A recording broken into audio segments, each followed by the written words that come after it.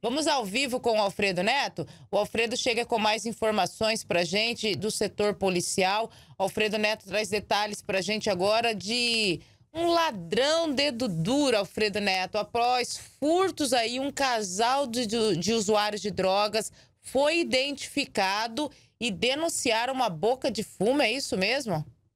Isso mesmo, Ana. Esse aí é o ladrão trapalhão junto da companheira, unidos até que a cadeia os separem. Ontem, Ana, esse casal de usuários de drogas invadiram a residência no bairro Santos Dumont, aonde furtaram um videogame Xbox e um boné. Por sorte, a vítima teria presenciado ali a movimentação desses usuários e tirado foto do casal.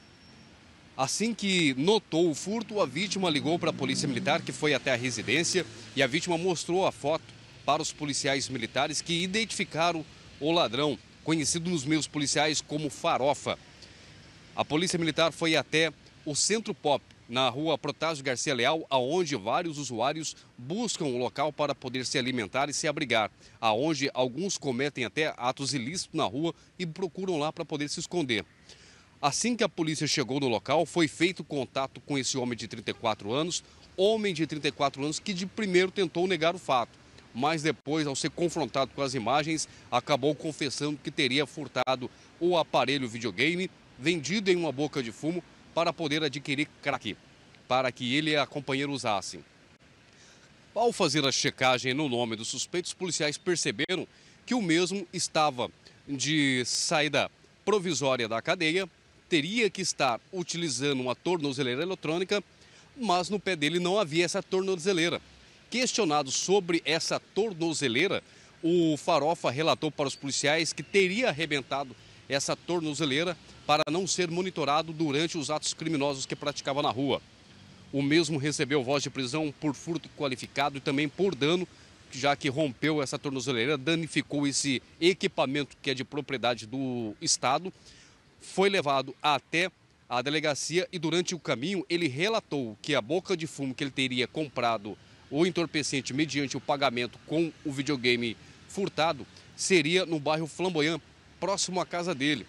Lá os policiais conseguiram fazer contato com um homem suspeito de ter adquirido esse videogame. O mesmo acabou negando ali naquele primeiro momento, mas ao ser confrontado com as informações, o homem não conseguiu fugir da veracidade dos fatos acabou confessando e dentro da residência, Ana, os policiais encontraram algumas porções de entorpecentes. O homem recebeu voz de prisão pela suspeita da venda de tráfico de drogas, disse que o entorpecente era para consumo pessoal e vai responder na justiça.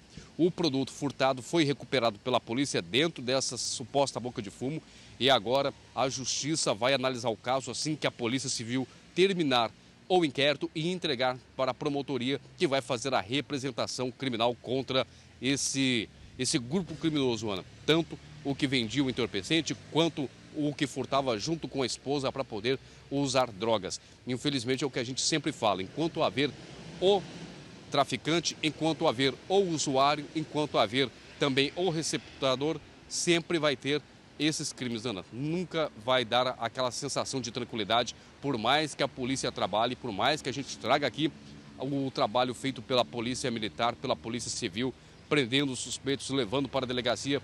Infelizmente, por conta do receptador que continua comprando os produtos furtados, mantendo a esperança do usuário de conseguir o dinheiro para comprar o entorpecente e assim o traficante sabendo que vai ter alguém que vai dar dinheiro para o usuário para ele continuar viciado e assim continuar cometendo esses crimes contra a sociedade, Ana.